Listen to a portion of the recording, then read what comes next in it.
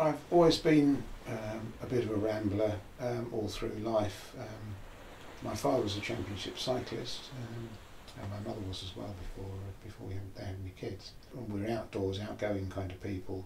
We used to have family holidays in in the 1950s yeah, in a caravan, um, and I was an outgoing person. And I would get out and you know go rambling around and explore.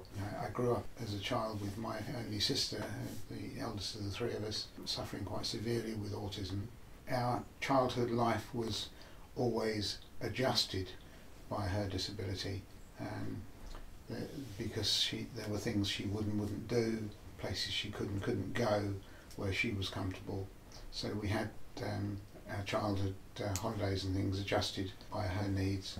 We also then, uh, as she came into her teens uh, and changed the kind of service that she received, we became involved with the MENCAP group that um, that I'm still involved with today. My interest was was, was born then in 1963, and, and my interest has developed. That puts into my into my personality, if you like, really, the the charitable aspect, the interest in uh, in knowing that a small amount of effort uh, from someone like myself can make a very big difference to somebody else's life.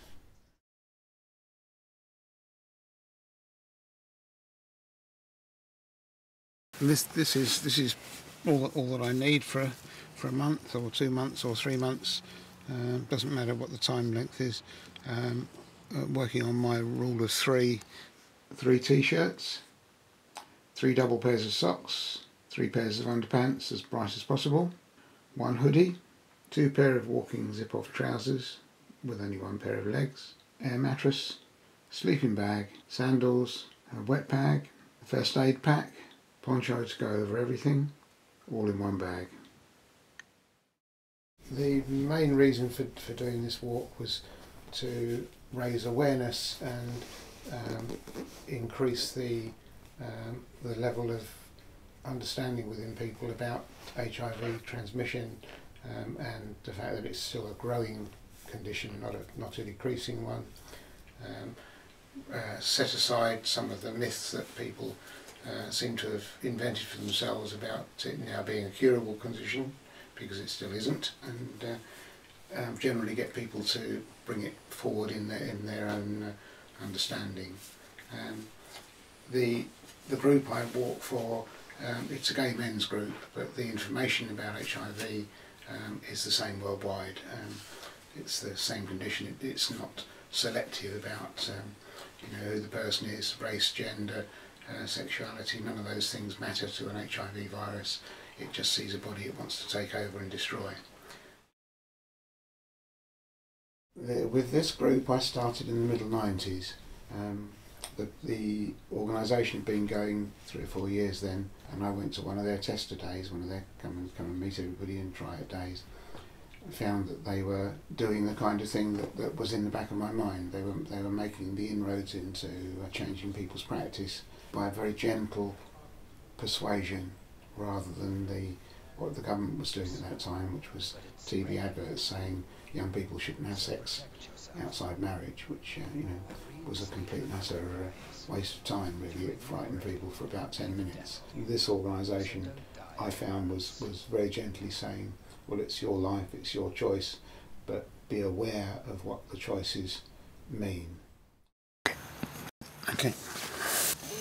zip up the, the bag to pack it up, fold it double, and roll it up. Go in the backpack in its compression sack.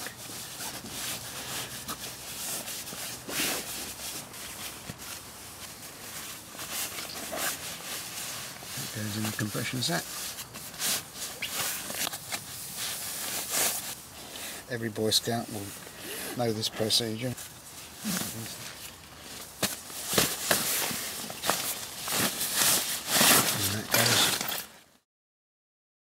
The campaign that we, uh, we're running at the moment uh, in GMFA, the Count Me In campaign, um, is aimed at doing just that. It's got a very, very simple message.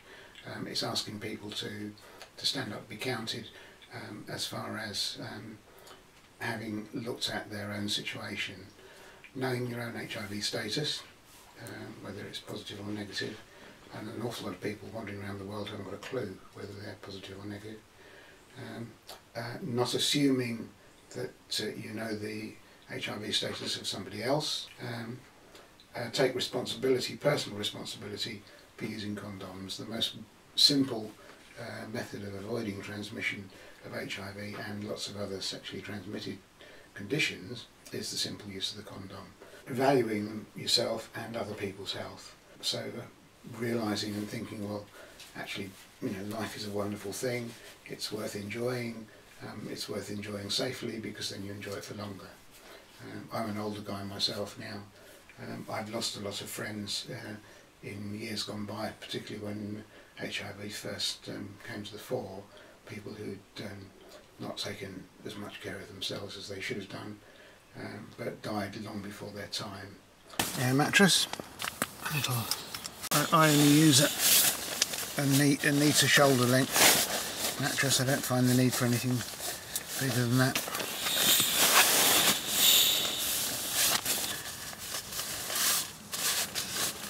Somewhere in this little bag.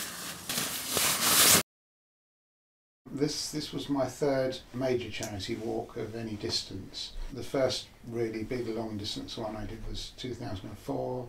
I walked from um, the Mencap Centre in Hillingdon in West London uh, to Santiago in northern Spain. It was a three month trek. Um, very, very challenging, very awe-inspiring. I could just about string a sentence together in French by the time I got to the Pyrenees. Of course, went over the Pyrenees and into Spain. I didn't have any Spanish, so I started again from scratch. I walked with my walking buddy Andy Johnson, who's um, uh, a great companion to walk with and is very good with a map. Um, so uh, you, you know, always sure you're going to get where you're going. We enjoyed ourselves so much, we decided we'd do another one. So 2008, we uh, set out from here in Herefordshire and um, went off to Rome. It wasn't exactly a popular walking trip. Um, it was done by one of the priests who was based in Hereford, had been excommunicated, and he went to Rome to try and get himself reconnected. Into the spare clothes. My travelling towel. That's the bath towel and everything else. Spare pair of shorts and my pillow, which is also my sweatshirt. That's the lot. 2011 uh, London to Land's End, I was initially planning to do it on my own, um, and Andy and his wife Karen said, uh, "Well, if you like, we'll do some of it with you." Um, and obviously, I jumped at the chance because it's nice to have company. Well, it started with London Pride on the 2nd of July uh, in my mind was, well, how, how, do I get the message across that I'm doing it to the, the greatest number of people? Uh, a chance to give out a lot of literature to people. Um, and then the group waved me farewell from Trafalgar Square. On Sunday morning, I started on my own from Tower Bridge. Gradually working my way along the Thames, things got quieter and quieter. There were stretches where I would perhaps do two or three miles and not see anybody at all. It took a few days of uh, of Thames Path walking um, until I got to Henley. Um, so I zigzagged with the Thames and set off from Goring and onto the Ridgeway Path. The Ridgeway Path took me through a bit of Oxfordshire, a bit of Berkshire, and it com- comes to an end quite near Salisbury Plain. Then across Wiltshire, um, stayed in the campsite where I got a, a great deal of, of support from the other campers. Uh, in one particular campsite I stayed in, um, Westbury in Wiltshire. Um, the, the general populace of that campsite was uh, families with fairly small children or fairly young children, um, people having a, an economic holiday, um, uh, probably because they're, they're in their early stages of their own lives, that uh, young parents in their 20s and 30s with, with very small children. Um, obviously their budgets are, are stretched a bit, they're not going to go to a five-star hotel, so they're camping instead. Um, and I, not the not the target audience that I would be expected to meet um, and to engage with. But in that particular campsite, people were very outgoing. Um, they, uh, quite a few of, the, of, these people gave me money, which I wasn't expecting, um, to, to help fund the campaign. Um, they were interested in what I was doing, very encouraging, um, and very chatty about it. Um, and uh, and saying things like, well, we, we need to know about, we need this kind of information because we need to build it into our children's education. Um, and I think that's, that's a very important factor um, for the future. The only way of, of um, arresting a condition like HIV is to educate the next generations to such a level that they, they know um, how to look after themselves and how to keep themselves safe um, and gradually break down the, the, the opportunity for this opportunist virus to, to transfer from person to person. So that, that was extremely encouraging. And in, our organisation, we do a lot, a lot with, uh, with issuing little leaflets like this, things that people will slip in their pocket and not drop in the gutter. So that's why this is such a tiny leaflet. It's, um, it's very, you can slip it in your pocket. You may not necessarily read it when you're in a pub or club or wherever you've picked it up, but you'll read it the next day. Now that's all packed up. Put my boots on, ready to face the world. Fortunately today it's nice and dry.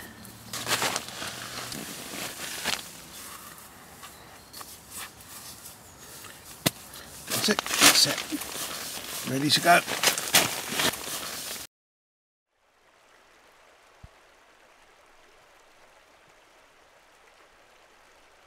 Concept and way of the walk changed when I met up with Andy and Karen because suddenly I wasn't on my own. I was more encouraged to get up earlier in the morning. You know, walking as a group, you discipline yourself to say, well, yes, we will. Tomorrow's going to be a hot day. We will get up at five. We will be on the road at six o'clock. The, the discipline of three people together is is different. You start at the time that you say you're going to start.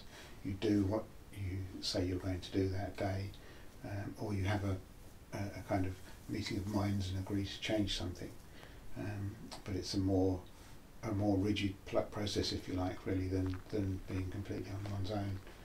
Um, when I walked on my own, uh, it was really deep into my own thoughts, um, and we, we set off as a threesome through the rest of Somerset down um, onto the Dorset coast, made our way along the the, the Jurassic coast, then crossed uh, Dartmoor initially, and then uh, Bodmin Moor and made our way over to the North Cornish coast uh, and made our way around to Land's End, um, where, where we jumped on the train and, and came back.